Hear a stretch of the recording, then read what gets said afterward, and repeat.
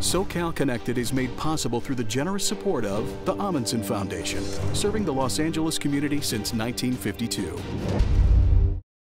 On tonight's SoCal Connected. LA's jazz roots run deep. Over time, they've dried up. 10 years ago, we were just in a drought, just a jazz drought, jazz club drought. But the sounds are flowing again. Los Angeles is definitely having a moment. I'm sensing that the audience is growing. In a city full of struggling artists, jazz musicians are hitting their stride. When I got here, it felt like it gave me permission to really explore every avenue of my like creativity. And I don't think you're gonna catch that like anywhere else right now. Not the way that's happening here. This is Jazz City.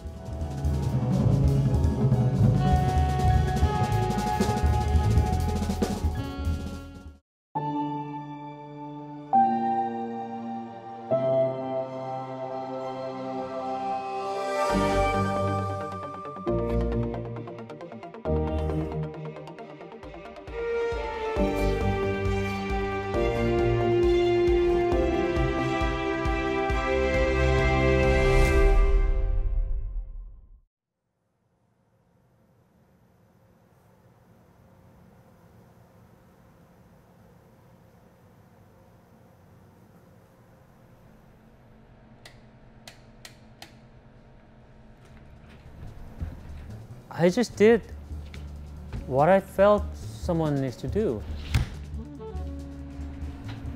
I was doing what I wanted to do. This place is so hidden and usually dark, especially during the day. Nobody knows it's here. And even at night, it's very dark and very hidden. So some people say it's belly, uh, belly of the whale. It's tucked into the corner of a shopping complex in Little Tokyo, next to a Korean barbecue house. It's discreet, but that's part of its draw. I'm not very showy person. I mean, personally, I'm not a very showy person. Yeah, Bennie Maupin, he walked in for the first time. I still remember, he walked in for the first time. And then he said, I, I heard about this place in June. Uh, um, it's good that you don't have a sign out there like live jazz, because um, we know that scare people away. So I'm like, okay. it may not look like much, but the Blue Whale is one of the most sought out jazz clubs on the West Coast. It's the centerpiece of LA's blossoming jazz scene. Because it's hidden, we don't have that much bar hoppers. So, you know, people who comes here, they know what we are, I provide a space to all the local musicians here. We built it together. They helped me a lot. And Miguel is one of them. He's talking about Miguel Atwood Ferguson, an LA native and a star of a sold out show on a recent Friday night.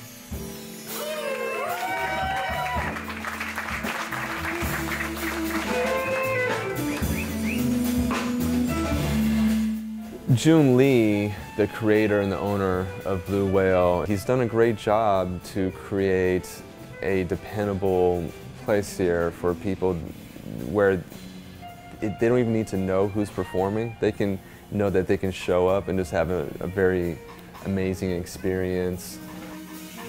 Fans and artists have Joon Lee to thank for helping re-energize jazz music in Los Angeles. He's an immigrant from South Korea and opened the Blue Whale in 2009. I used to sleep here, especially first year, because I was worrying about everything. Every day I wake up and you know it became my habit that okay, I'm gonna survive today. If it goes wrong and don't get freaked out. His family back in South Korea wasn't crazy about his choice to open a jazz club. No, no, no, no, no. They're all like no, you're not doing it.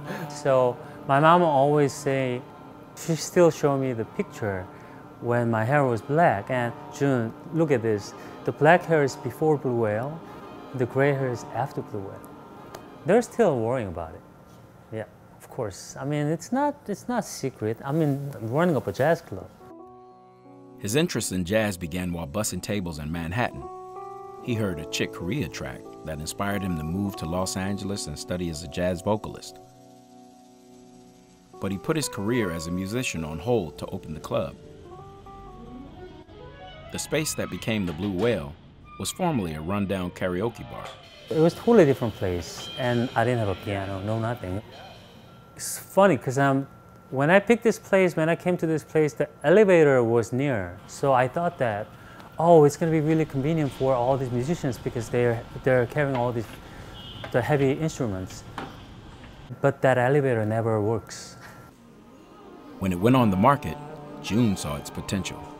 He transformed it into a sleek listening room, complete with the work of mystic poets suspended on the ceiling.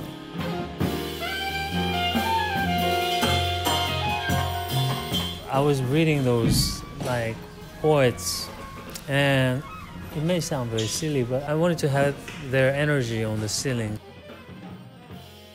I believe in my taste in music. I'd book the artist 100%. When I set up for the first time back in 2009, it was bad time. It was bad timing. I mean, the economy was not good. Everything was going down.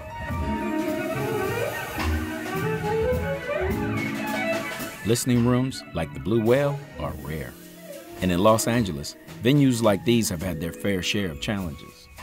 The economics, particularly in a booming, consistently gentrifying and evolving city like Los Angeles, makes almost any arts endeavor kind of a fraught proposition. LA hasn't been known in recent years for having venues that are really open to the more kind of like I don't want to say avant-garde, but but more far-reaching creative corners of jazz.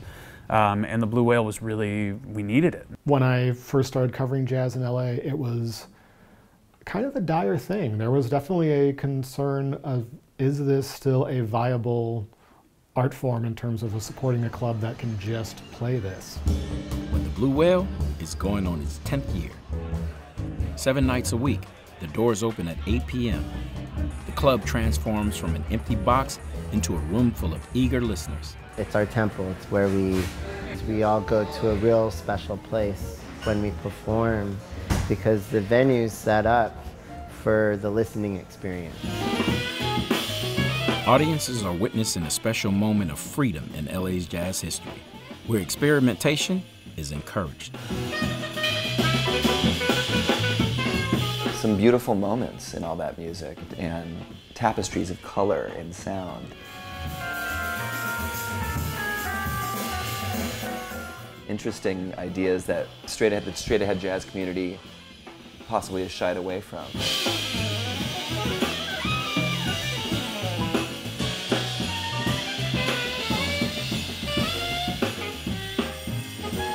I think what makes the music so special is that it's not tied to any specific genre or expectation of what something is supposed to sound like. Because it's just a different kind of improvisatory genre. The Blue Whale came into the picture at the perfect time. I feel as if one of the key moments was the opening of the Blue Whale in Little Tokyo. That had such a shift in what the expectations were for a night out of seeing jazz. A lot of those artists from LA and beyond had a place to play where they didn't necessarily have to be tied down to any sort of expectations of playing more straight ahead music.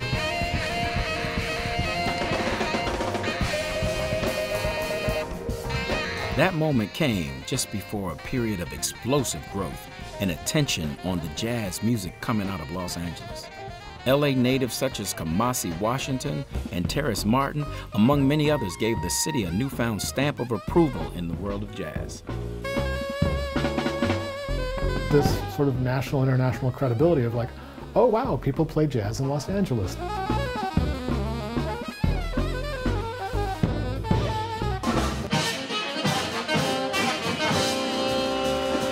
Early in his career, Kamasi was often at the Blue.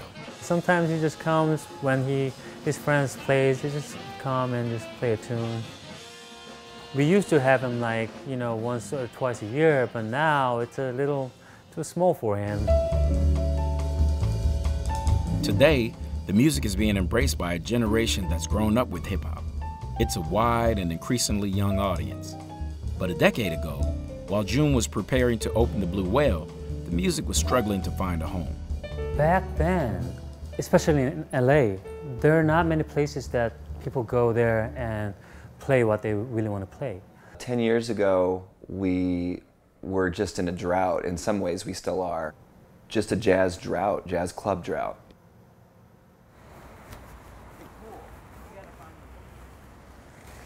When we came here, there was no, I mean, there was the building, but not a single light, not any businesses, nothing. And right across the street in this building, it was an ancient laundry and most of the windows were broken, you know, big old funky dark, you know, nothing, just us. Ruth Price founded the Jazz Bakery, a popular club that used to be in Culver City. You're seeing room and board, which was where the bakery used to be. And it's a furniture store. And it's got a clearance going on. From 1992 until 2009, the Jazz Bakery was a fixture in LA's jazz community. Culver City was a different place back then. It's very hard to tell because it doesn't look the same. But I think it was right there. Our entrance was built around that doorway. I don't even think this exists. It didn't exist. A lot of memories mostly all good. It hosted some of the greatest jazz artists of its time.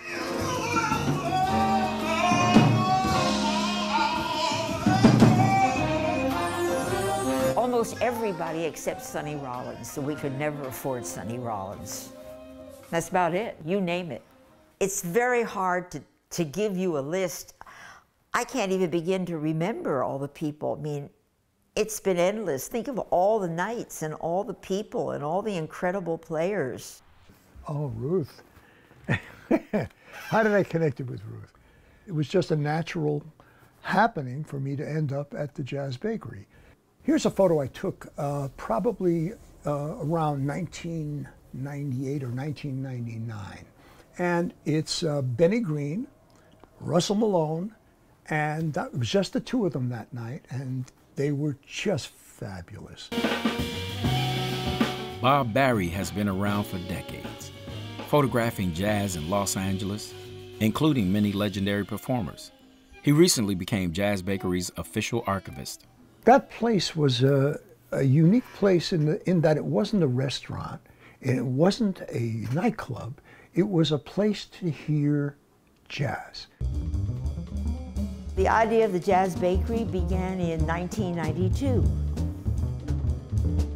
It wasn't going to have any people drinking or talking. It wasn't going to have any green spotlights on a piano that was painted white and wasn't tuned. It wasn't going to have anybody smoking long before that was a consideration of law. And uh, that's what I did. It really became very important. People miss it, they still talk about it. Gentrification and higher rents swept into Culver City, and the Jazz Bakery lost its lease. Price has struggled for the past decade to find a permanent space. She continues to host events, but the locations are temporary. It's harder. It's harder always to go different places. It's not even harder, it's not for me, it's harder for an audience. They don't have a place in mind where they can go. The Jazz Bakery closed the same year the Blue Whale opened. I didn't even know that it that was the same year. I didn't even know. So, yeah, I was really surprised. It, I was very, very sad about it. Los Angeles has a rich jazz history. Many clubs have come and gone before the Blue Whale or Jazz Bakery ever existed. One of those was the Finale Club, a venue where Charlie Parker and Miles Davis famously played in 1946. It was also in Little Tokyo. During World War II, this corner of downtown was coined Bronzeville, the name given when African American communities moved in after Japanese Americans were forced into internment. And it's also the point where Central Avenue stretches south. the main thoroughfare that was once home to the most famous jazz clubs on the West Coast.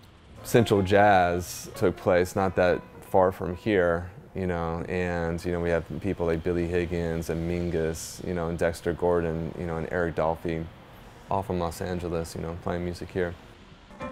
The Avenue was also the focal point of LA's black community from the 20s until the 50s. Ultimately, those populations were pushed south and west. Even if you're not a fan, there is no denying the cultural and historical significance of jazz in LA and in America. They say it's America's first art form. It's created by musicians that, um, you know, we're, we're looking at dealing with the toughest issues of civil rights and racism and bigotry. Somehow, America's forgotten that this music is so special.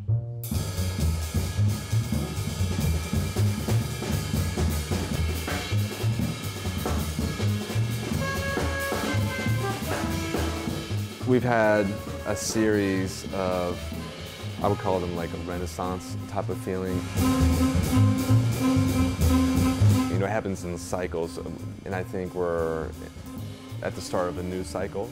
So much so that a lot of people in New York at the top of their crafts are actually moving here to Los Angeles. New York has always been a jazz mecca. For decades, if you were serious about a career in jazz, it was the place to be. That's not necessarily the case anymore. Many artists are opting for Los Angeles. There's still a slight thing, I think, even after a year and a half, where I still feel like it's new to me. And I think it's just because I spent so much time in New York. One of those artists is Dave Binney. He holds a monthly residency at the Blue Whale. Blue Whale. Binney's lived in New York for 37 years and became a mainstay in the scene there. He's made over 20 albums under his own name and produced and played on hundreds more. Binney draws from the young pool of talent in Southern California. I'm trying to mix the, like the young crowd with like a more established crowd so that the scene kind of develops uh, quicker. It's kind of really what I've always wanted to do, you know. Having the young people willing to dig into the music and learn it, that really is something that's a big part of Los Angeles for me. This evening, Binney's playing with pianist Paul Cornish. It's humbling because all the clubs are 21 and up. And when I got here, I wasn't 21. So for the longest, I couldn't even get into those clubs. And I started playing in a lot of them when I was like 19. So I would go and play and then still wouldn't be able to go and watch the shows.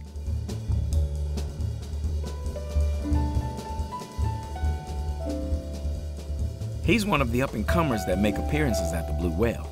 The challenges uh, being a jazz musician in 2019, just like not knowing what's next and how you can be really fruitful uh, in one week and the next week no one calls you or you can just come off a tour and uh, nothing's really happening. But I think that's part of it. I think that's definitely one of the things that drives me and pushes me to to keep going.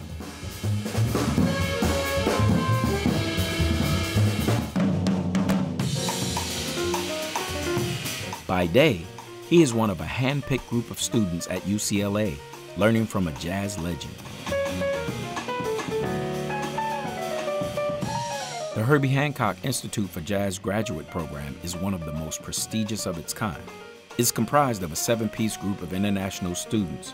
They study as an ensemble for two years under the tutelage of Herbie himself.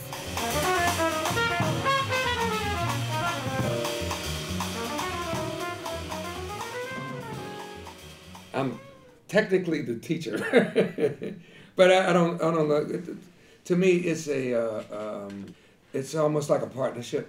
Once it gets up to wherever it's going to go, then then the other stuff can, can come through. Formerly the Thelonious Monk Institute, it was renamed in 2019 after briefly relocating to New Orleans. If you go to any of the jazz venues in the city, almost every night of the week, it's Monk Institute musicians, whether it's their own performance or they're playing with other artists.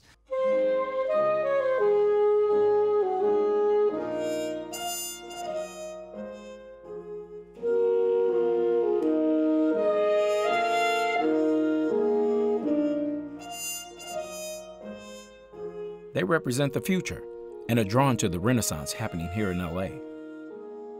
Los Angeles is definitely having a moment, especially with many people moving here, like uh, David Binney, um, another person, Theo Croker, because those are some people that I would have moved to New York to to play with.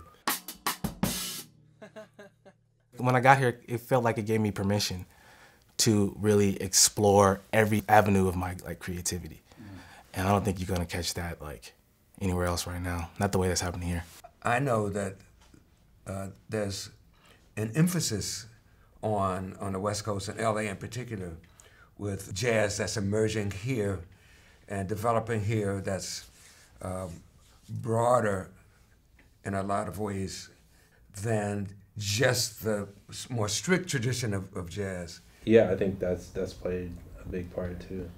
These young players are forging a new path, but still, they embrace the history. I have 12 aunts and uncles, and they all play music. They grew up in uh, a low-income environment, so music was like a real um, saving grace for them. The history of jazz means a lot to me, especially being an African-American male. The music and the people in the music, a lot of them are African American males who made success out of tragedy, out of traumatic and tragic circumstances of the times. And their success and their hard work and creative genius is so inspiring. It kind of just was passed down to me like a tradition.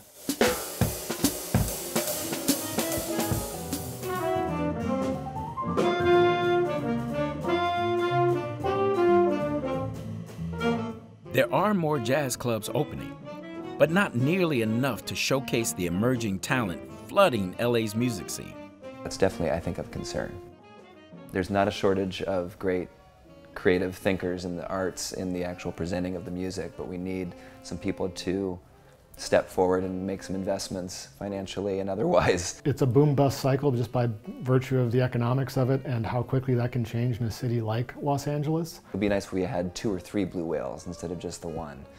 It puts a lot of pressure on this one club to have to house or present all this music because there's really nowhere else like it.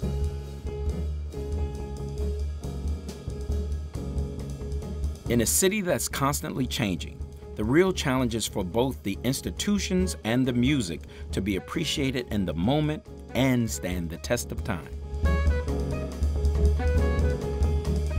There's no doubt that more creative artists are going to continue to move to Los Angeles as it continues in this trend, I think. There's a lot of new artists that have a lot to say about this music, and this is a great home for them. I always tell people creativity is problem solving, so it's like getting into a problem or finding the solution uh, within changes and even beyond that. I feel like Los Angeles has been great for that because I haven't found too much judgment because everyone is sort of going for that thing and going into the unknown and reaching for, for something different.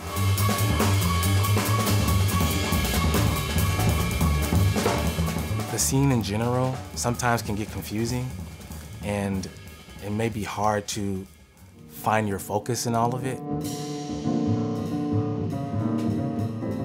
because there's so many different sides and avenues and takes on jazz music, which is why I'm really appreciative of Los Angeles. because the place lets you be who you want to be. We're early in the game here, so maybe that's why the clubs aren't here. But I'm sensing that the audience is growing.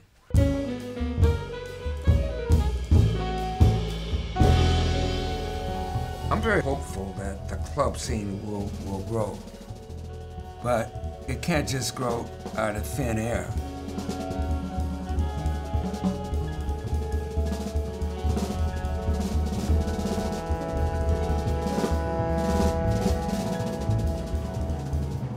For Joon Lee, it wasn't easy to get the Blue Whale to where it is now, and the future is always uncertain. This business with this music, it's not now, you know, I have everything, so I don't have to worry. In LA now, in, especially in downtown LA, Because of the gentrification, the rent is just going up. It's just going up every year.